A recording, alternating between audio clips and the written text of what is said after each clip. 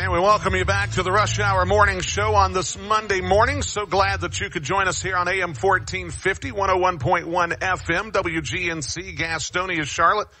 Let's get right back to the phone line as we've got the head coach of Eastern Kentucky University, A.W. Hamilton. Coach, welcome to the Rush Hour Morning Show. How are you this morning?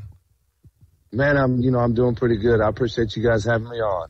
Well, coach, it's, it's fantastic having you on. Let's go ahead and get right into this. First of all, can't get much better in the world of college basketball when it comes to marketing than calling yourselves the most exciting 40 minutes in college basketball. Coach, I'd love for you to just describe what that means at Eastern Kentucky University with your program. So when I, when Brian, when I got the job here, I, I needed to get our fan base excited and energized. And, you know, I'm a Kentucky guy and I'm going to be honest with you. Uh, the Kentucky Derby is the most exciting two minutes in sports. So I was like, you know what? I, I got to steal that. And, uh, we got to be the most exciting 40 minutes in sports. Um, so I branded our, our program that, uh, we want to play fast. We want to get up and down. We press for 40 minutes. Uh, we play an exciting brand of basketball and, you know, and, and our fans have, have absolutely fallen in love with it. Last year was the first time in school history that we led the conference in attendance. Uh, we, we've led the conference in scoring every single year I've been here. Uh, but more importantly, we've led the, led the conference in steals per game, forced turnovers per game. So it, it's an exciting brand. Uh, you know, we get up and down, we play really fast, but we play pressure defense. And, you know, and, and not only do the fans love it, but kids want to play this style.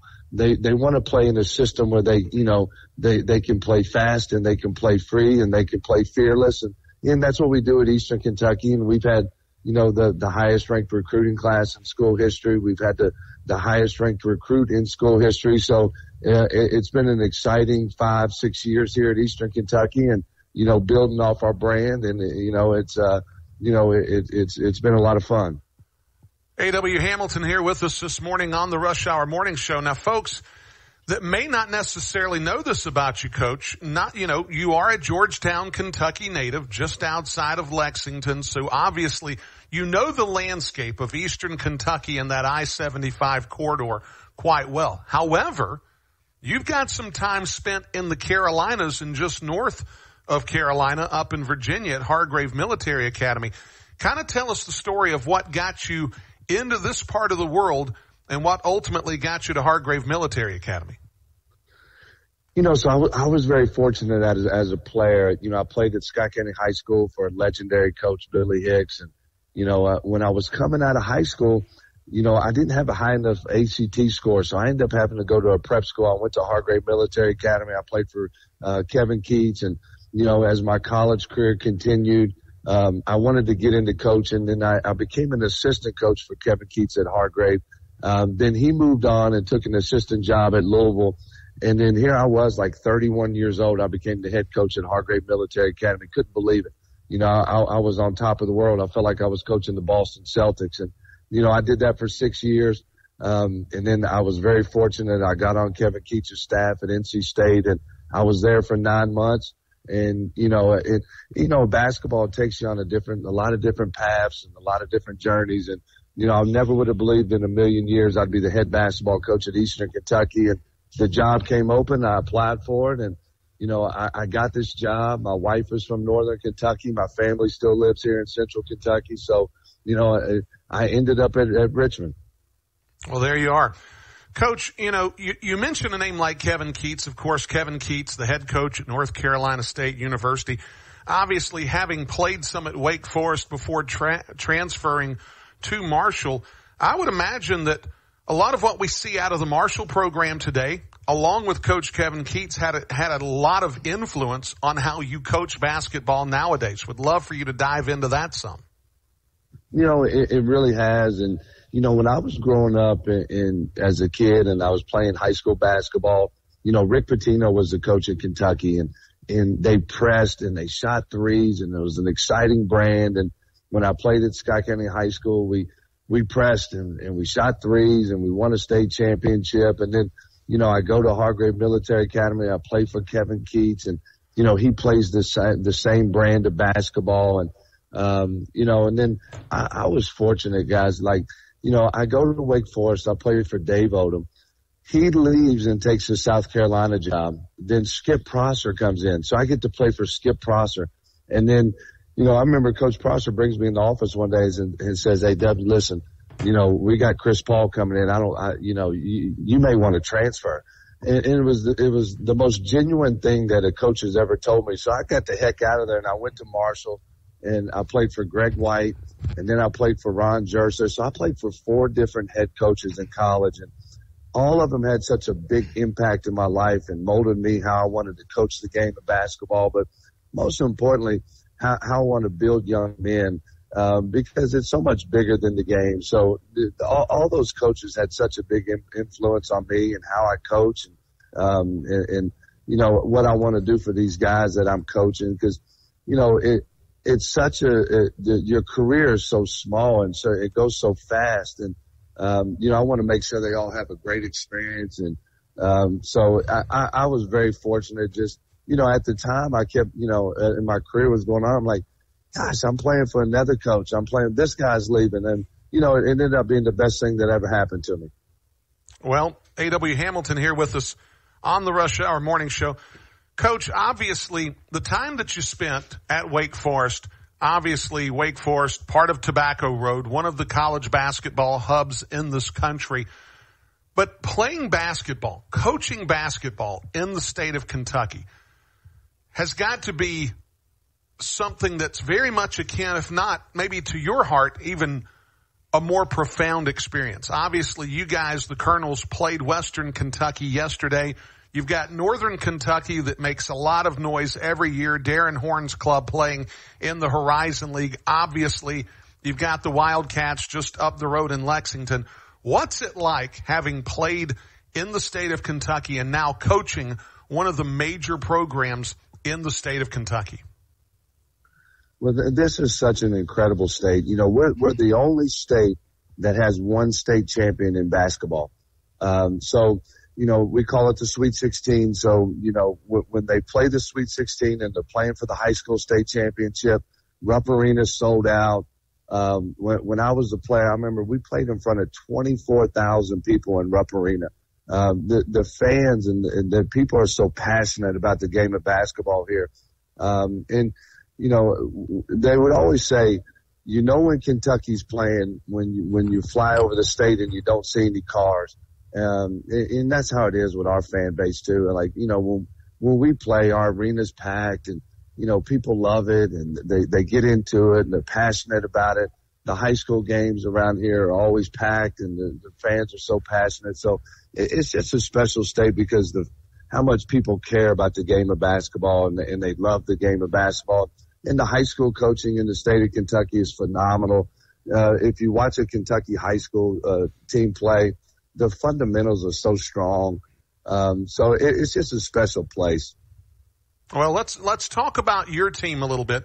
Had a chance last year to watch your team play in the Levine Center against Queens University of Charlotte. Now, Queens University of Charlotte was a Division two power for a long, long time before going into the ASUN.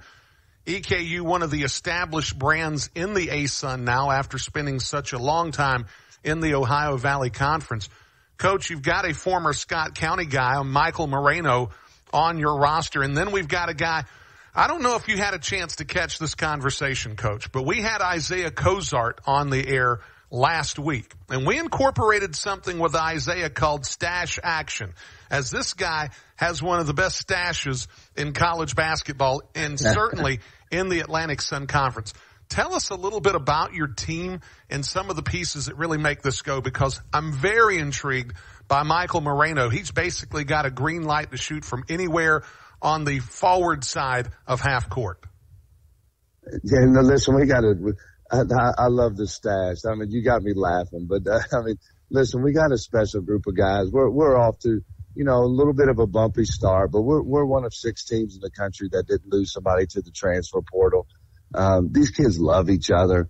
Uh, they love Eastern Kentucky. They, they love Richmond, Kentucky.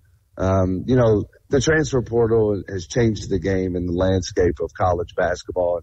You know, we're fortunate. We're one of the teams that, um, everybody wanted to come back. You know, we're, we're coming off the most postseason wins in 78 years. It's the first time we've been in a national postseason championship game. We are in the CBI championship. So, you know, we, we got a special group. Michael Moreno, listen, he, he's had a Hall of Fame career. Um, you know, he's six made threes away from being the all-time leader at Eastern Kentucky in threes made. And Isaiah Cozart, every time I turn around, I mean, he's breaking records. I mean, he's, he's, he's broke the record at EKU, most blocks in the game, most blocks average in the season. Um, it, it's, he's number one in the country in block shots right now. He had seven block shots last night at Western Kentucky.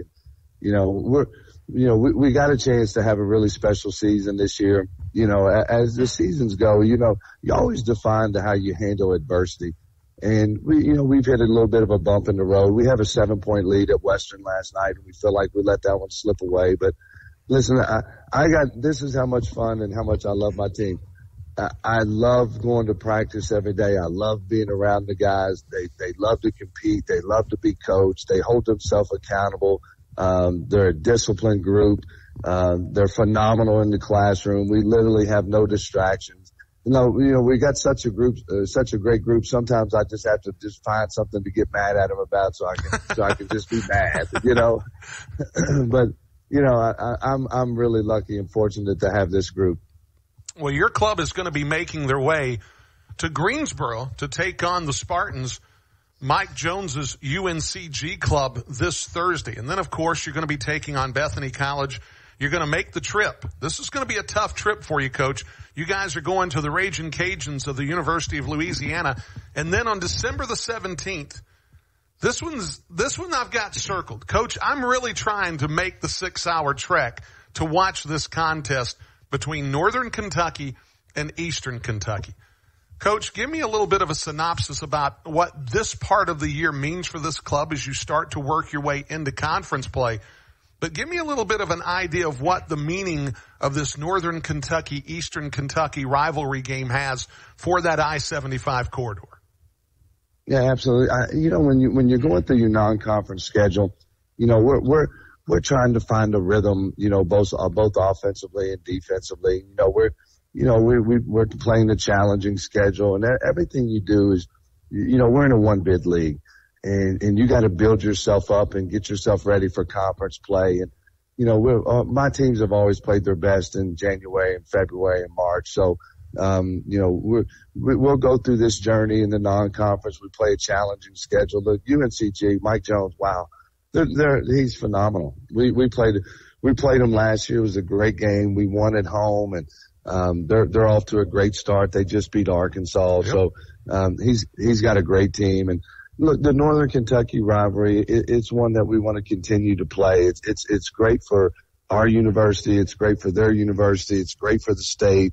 Um, Darrin does a phenomenal job. And look, every time we played, it's been an overtime. It's been a one possession game, two possession game. It's been a buzzer beater. So um, the games have been phenomenal. And listen, I, we really need to get you there. Look, if you come, I got you courtside seats. Let's have fun. You'll love this, uh, the atmosphere. It's an exciting game. The crowd is awesome. Uh, we really need to get you there. Well, coach, I, I, I'm excited. I'm trying to work out my travel plans right now. That game is going to be Sunday, December 17th, four o'clock. Certainly it's going to be on ESPN plus, but there's something different about being at McBrayer Court and watching Eastern Kentucky University basketball, the most exciting 40 minutes in college basketball. Coach, I want to thank you for your time this morning. We're definitely going to have you back. Would love to get you back as we get closer and closer to conference season in the Atlantic Sun so we can talk about all the Florida schools and then of course that matchup that you'll have coming up soon against the Queens University of Charlotte Royals. Coach, thank you so much for your time this morning. Thank you so much for having me. All right.